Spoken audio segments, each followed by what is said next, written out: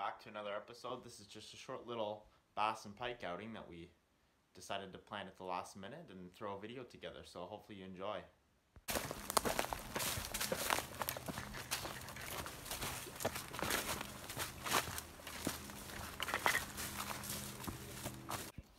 Ooh. Well, there you go. It's a nice pike. Nice, nice. You want the net? Eh? Oh. No, he's gonna do the double Adam, I'll just try and grab I have it here He's stuck want a branch. Oh, he wrap himself around a branch? Yeah. it's just well, that's there if you that's there if you want it. Yeah.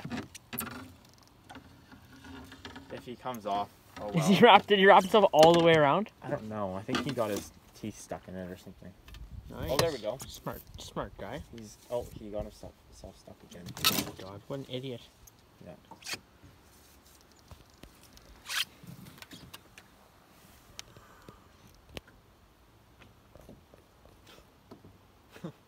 He's just flopping away.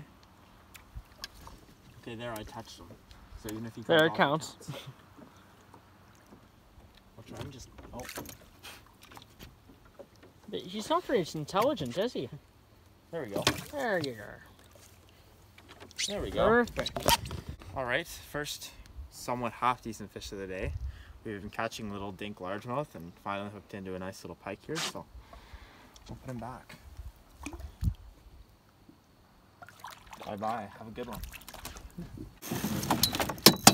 Leaf is hooked onto a rather large bass, if you ask me. I'm gonna switch hands here to my strong one. Don't drop your phone in the water. Won't. Never do. Haven't yet.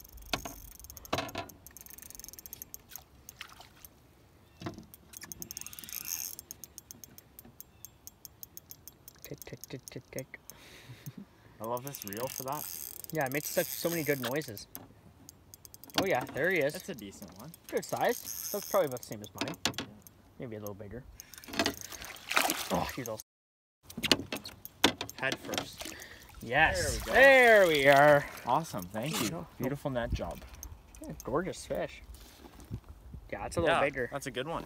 That's definitely a nice one. So that's a, a bunch of small bass, one pike, and two, larger nice- bass. two Two nice bass, solid yeah. bass.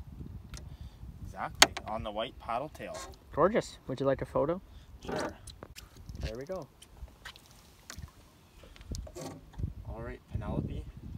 Penelope. Thank you, thank you very much. Bye bye. Ah, All right, so Leaf just saw something swimming around, making bubbles everywhere, and all now he's hooked on it. You can see it. You can see the you can see the bait in the air. I'm not sure what that means, but There's no water here how do you, how is your bait in the air? I'm confused. because it slid up the line. But the hook isn't even there. Yeah, because Senko slide up the line. Oh, I see. Your Senko's green. I thought that was the actual Oh, hook. Ooh, that go. was cool. I got the jump. Tit, tit, tit, tit, tit. I'm assuming you want the net for this guy. I can probably net him if you want to just record. You might have to give me the net though. Yeah. This fish has no wiggle room. There's no water for him to fight. No, you're right. We're in like that much water, so not very much.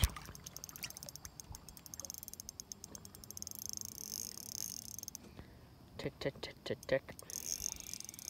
Time's a ticking fish. It's a good one. Yeah, definitely a definitely a feisty one, that's for sure. Now he's underground. Oh. There's There. the weeds along once, with. Once the weeds get on them, they're useless. They're Yeah, they're blind. Yeah. And there we go. Ladies and gents, not a terrible one. garnished with some lovely cabbage. Not a bad one at all. The late average. Probably the average, yeah. Cutter. Fun fight. Oh yeah.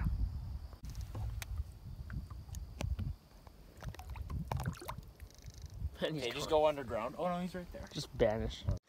So that is all. We ended up catching a bunch of little four to six inch largemouth that I didn't show because they were all just the same size and they were all tiny. We did catch a few decent ones, nothing humongous. It was a slow day. for that lake in general. It's a an interesting time of year because it's kind of the transition between summer and fall. But anyways, hopefully you enjoyed. Thanks for watching, and we'll see you next time.